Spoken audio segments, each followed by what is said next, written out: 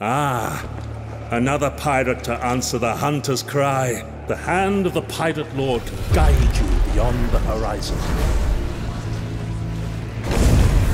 Merrick has been taken by the Dark Brethren. Now he is a prisoner in the Sea of the Damned. If the secrets he knows fall into the Brethren's hands, it will make them even more dangerous. Phantoms! See to it that the Pirate Lord's puppets have their forces to reclaim the beacon! Drive them back to the sea!